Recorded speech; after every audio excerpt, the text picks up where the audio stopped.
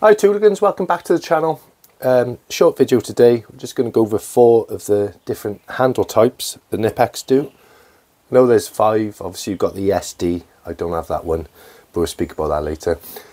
Also let me say hello and thanks to any new and existing subscribers, thanks for watching the video guys and thanks for all the support. Keep the comments coming, keep the likes coming, it means a lot and it helps the channel grow and it helps me carry on doing these videos.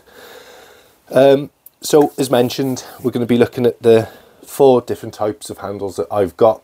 I don't have the grey and black ESD versions because I don't need them. That's the electrostatic discharge um, for work on small electronic stuff. So what I'll do, bring a bit closer, we'll have a little bit more of a look at these handles and what they mean and what they could do for you. Okay, so we've got the vinyl dipped handles, vinyl dip textured, multi-component handles, and we've got the VDE handles. Just go through them briefly and just tell you a little bit about them. So obviously vinyl dipped handles, name is quite explanatory is what they are. They're basically a nice wipe clean handle Thin plastic covers which are manufactured using immersion process, so literally dipped in and out. And they put their little stamps on the side. Bit nicer from having a bare steel. If you can remember like the old plier wrenches and old wrenches, a lot of them just come with a bare steel, so if you're out in the cold, cold hands, cold grip. Um, with these ones, you, you can feel the metal underneath um, obviously if you're wearing gloves with them that gives you a bit more cushion. I do like them ones. I've got them in, where are the Little side cutters as well. These stay in my EDC kit now because they're smaller than the, where's the other ones?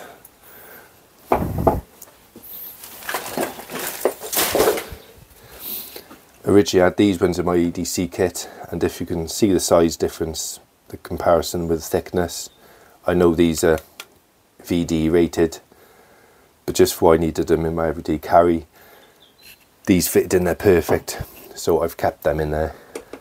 So they're the vinyl dipped handles. Then you've got the textured handles, which are dipped. You've just got this, you can see it there, slightly textured, non-slip grip handles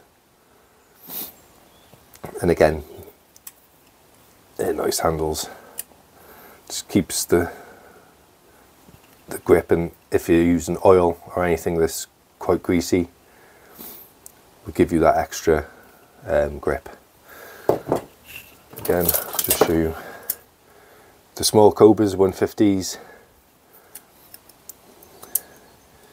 just see the textured handle on them.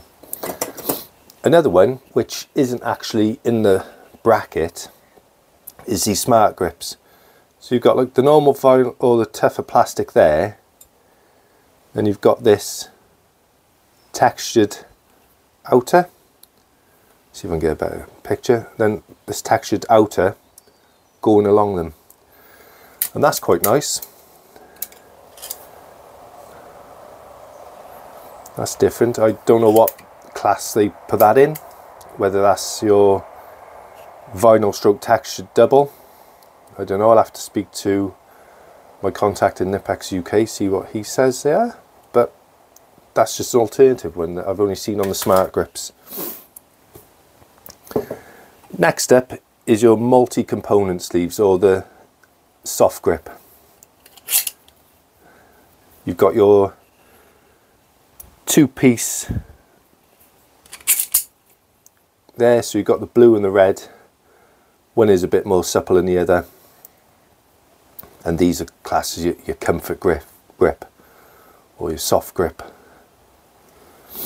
these are not VDE rated at all um, I don't know if people just thought they wanted to do some nice different colours for it because obviously you've got the yellow and red there these are not VD, these are just comfort grip. You can see I got the little Super Knips and these are the comfort grips. I'm just trying to show a couple of different applications of them. They are nice in the hand. There is slight price differences between them, um, between the vinyl and the comforts. The comforts, the VD, the VD and the vinyls and vice versa. I think you're paying a little bit more for the testing done on these. I'm not too sure about that, but that's what I'm assuming. And there's obviously a bit more material on them. So these are the VDE rated. You can see the twin triangles there and there. And you've got your 1000 volt rated and your VDE sign there. Clearly denotes a 1000 volts. They're actually tested to 10,000 volts. Um, they go through eight tests each individual tool. You shouldn't really be working on live electrical stuff anyway, unless it's, you know, it cannot be turned off for any reason. Um, put your reasons in the comments why it couldn't be turned off, but I know people do do it and it can be done. Um, but obviously you've got to make sure you're trained to be doing what you're doing. You can't just go opening uh, disc boards and playing around with them. So these are the VDE and I've also got a set of the shears to show you. And again, they've all got the same stamping and markings on them. All denotes a thousand volt tested. And it's very clear with the colouring as well. So these are for if you're working around or potentially live electrical. These are your comfort grips, textured, and your normal vinyls. Sorry, I forgot to mention. If you notice these VDs got the little ears that come out to stop your thumbs slipping over and hitting the conductor and getting the shock. That is the same standard on all of them. Where's the other ones? Yep, same on here. So you've got them little thumb and finger guards. Stop your fingers rising up and over. Hitting a conductor or contacting that. So there you go guys, that was only a brief um, talk through. I know there's going to be plenty of comments saying about this, saying about that. Which ones do you prefer? What ones do you use? Do you just stick with your vinyls? Do you go with your non-slip? Or do you just buy VD as a general um, rule of thumb? Um, leave any comments in the links uh, for the tools I'll put in the description. Um, and I hope you enjoyed the video. Put any other comments, any other videos you want to see, let me know. Thanks for your time and I hope you enjoy the video.